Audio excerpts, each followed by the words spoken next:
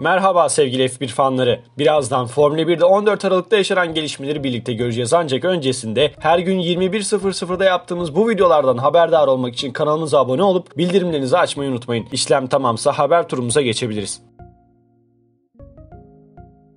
Ferrari CEO'su Luis Camilleri 2019 sezonunda kendini motor konusunda hile yapmakla suçlayan Red Bull pilotu Max Verstappen'e kapıyı kapattı. Verstappen, Ferrari'nin sezonun ikinci yarısında güçlü başlayıp gelen direktiflerin ardından yavaş kalmasının ardından İtalyan ekibin hile yaptığını işaret etmişti. Verstappen'in anlaşması 2020 sonunda bitiyor ancak Camilleri geleceğe yönelik Verstappen'e kapıyı kapattı. Verstappen'le ilgilenip ilgilenmedikleri sorusuna Camilleri, hayır bu tür açıklamalar genellikle sizi bir yere götürmez. Max 22 yaşında ve Ferrari olarak neden ona itibar edelim ki? Bazen sessiz kalmak daha iyidir. Bu sadece baskı yapmaya çalışmanın bir yolu. Ferrari hile yapmakla suçlayan bir pilot gelecekte bizimle olmayı bir an bile düşünemez. Bu tür açıklamaların olumlu dönüşü olamaz ve ona cevap vermeyeceğiz. şeklinde konuştu. Formula 1 takım patronları Autosport tarafından her sene geleneksel olarak yapılan oylamada Lewis Hamilton'ı senenin en iyi pilotu olarak seçtiler. Autosport tarafından gelenek haline getirilen etkinlikte Formula 1 takım patronlarıyla görüşülerek yıl boyunca gösterdikleri performansa göre sezonun en iyi 10 pilotunu seçmeleri isteniyor. Bireysel oylar gizli tutuluyor ve bu nedenle tüm takım patronları dürüst şekilde cevap verebiliyor. Puan sistemi Formula 1'deki gibi 25, 18, 15, 12, 10, 8, 6, 4, 2 ve 1 şeklinde uygulanıyor. Otosport bugün itibariyle sonuçları açıklarken tıpkı son yıllarda olduğu gibi yine zirvedeki isim Lewis Hamilton oldu. Bununla birlikte geçen yıl 218 puan toplayan Hamilton bu yıl 169 puan toplayabildi ve sezon boyunca iyi bir performans sergileyen Max Verstappen ile arasında 23 puan vardı. Bu ikili 2015 yılından bu yana yapılan her oylamada ilk iki sırada yer almış oldu. Bu ikilinin gerisinde Ferrari ile etkileyici bir ilk yarı geçiren Charles Leclerc yer aldı. Monakolu pilot Verstappen'in 22 puan gerisinde yer aldı. Valtteri Bottas bu yıl 68 puan toplayıp 7.likten 4.lüğe çıkarken Sebastian Vettel zorlu yılın ardından 3.lükten 5.liğe geriledi.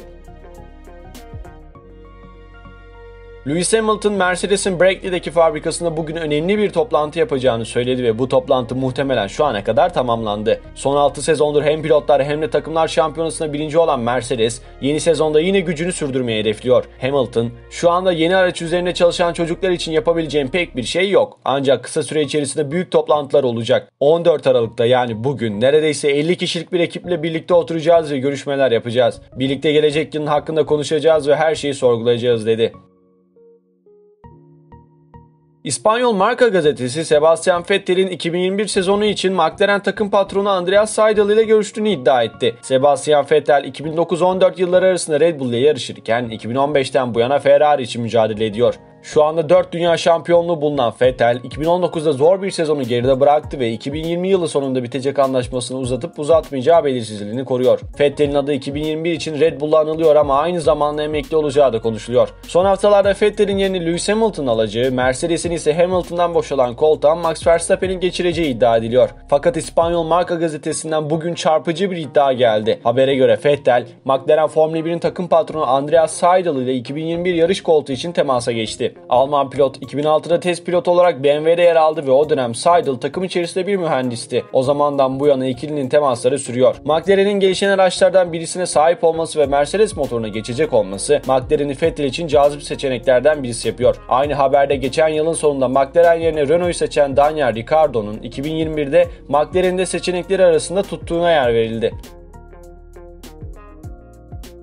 3 kez Formula 1 yarış galibi Johnny Herbert, yaz aylarında Ferrari Başkanı Joe Elkan ile görüşen Hamilton'ın 2021'de İtalyan takımına geçebileceğini fakat iyi şeyler teklif edilmesi halinde bunu yapacağını düşünüyor. Hamilton'ın Ferrari'ye geçmesini bekleyip beklemediği sorusuna Herbert, bunu hayal edebiliyorum. Bu her zaman bir sürücü olarak düşündüğünüz bir şey ancak elbette Lewis gibi bir pilot sadece yarışları ve daha da önemlisi dünya şampiyonluğu kazanabilecekse bunu düşünürler. Kontratı gelecek sezon sonunda sona erdiğinde ne isteyeceğini bilmiyoruz. Ne tür bir karar vereceğini göreceğiz ama Lewis'i kırmızı renkte görmek harika olmaz mıydı? Bence bu olursa herkes çıldırır ve bana göre Lewis de bu meydan okumayı çok ister. Eski Formula 1 pilotu Mark Webber, takım arkadaşı Lewis Hamilton'a karşılaştırıldığında Valtteri Bottas'ın yarış günlerinde tekerlek tekerleğe yarışma ruhunun eksik olduğundan bahsetti. Bottas ve Hamilton sezonun ilk 4 yarışına ikişer galibiyet aldılar ancak Bottas sonrasında Hamilton'a ayak uyduramadı. Webber'e göre bunun en büyük sebebi Bottas'ın savaşma ruhundaki eksiklik. Kanal 4'te On The Marbles adlı podcast'te konuşan Webber, Valtteri için zor bir sezon oldu. Ferrari'nin kış testleri sonrasında bir anda momentum yakalaması bekleniyordu ancak bu yaşanmadı ve Mercedes momentumu yakaladı ve çok güçlü oldular. Ferrari'nin canlandığını sene ortasında gördük ve Lewis tekrardan tecrübesini konuşturarak Ferrari'yi arkasında tutmayı başardı. Bottas tekerlek tekerleğe savaş ve mücadele açlığı açısından genelde eksik kaldı. Lewis herkese karşı klasını konuşturmayı başardı. Leclerc ve Sepp aynı anda birkaç aparkatla gelmesine rağmen Lewis bunları teker teker savuşturmayı başardı. Sezon boyunca olan enerji seviyesi insanüstü bir seviyede dedi.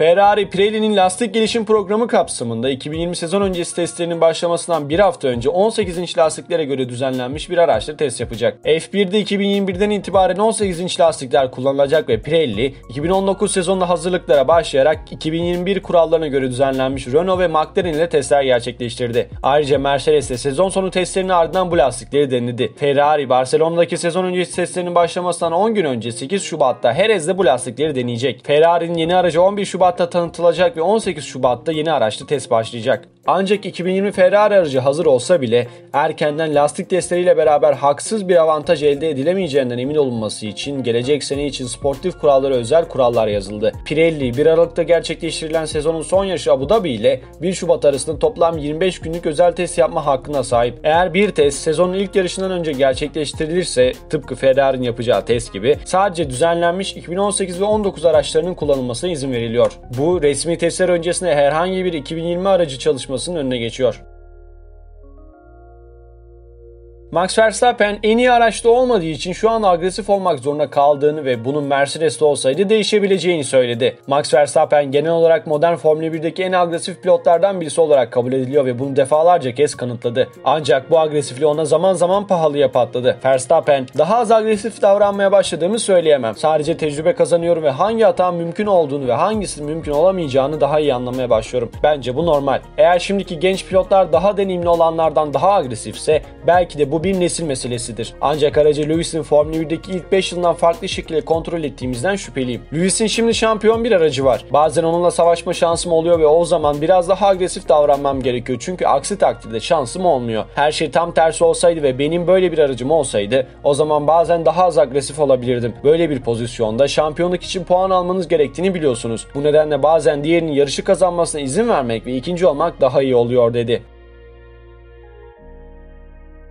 FIA Başkanı Jean Todt, daha eğlenceli yarışlara sahip olmak için yeni pistlerin tasarımına öncesine kıyasla daha çok dikkat edeceklerini söyledi. Son yıllarda Formula 1 takvimine giren yeni pistlerin büyük çoğunluğu sıkıcı olmakla eleştiriliyor. Azalan mücadeleler karşısında FIA artık harekete geçmeye başladı ve şimdi pist tasarımları konusunda harekete geçmişe benziyorlar. Konu hakkında konuşan FIA Başkanı Jean Todt, bu yıl pist tasarımlarının önemini çok daha iyi anlamaya başladığımızı söyleyebilirim. Elbette bunu daha önce farkına varmak gerekiyordu. Bu konuya daha fazla dikkat etmeliyiz çünkü yönetmelikler, takımlar ve spor yönetimi yönetiminin bu konu üzerine herhangi bir yetkisi yok ya da bu konuyla ilgisi yok şeklinde konuştu.